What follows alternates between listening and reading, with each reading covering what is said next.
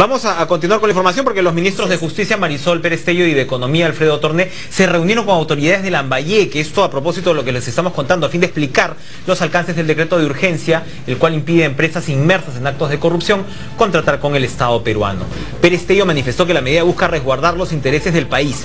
En este sentido dijo que ya se cumplió con publicar la primera lista de 55 firmas que se encuentran comprendidas al estar implicadas en delitos de corrupción o lavado de activos, siendo una de ellas Odebrecht. ¿Esto por qué, Jennifer?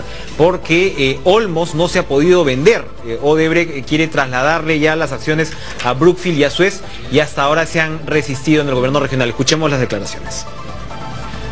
Y lo que se hace es impedir tres cosas. Primero, se les impide que saquen dinero del Estado peruano, es decir, sus cuentas pueden moverlas y al interior, pero no puede salir el dinero del Estado salvo que haya alguna autorización expresa en determinados supuestos.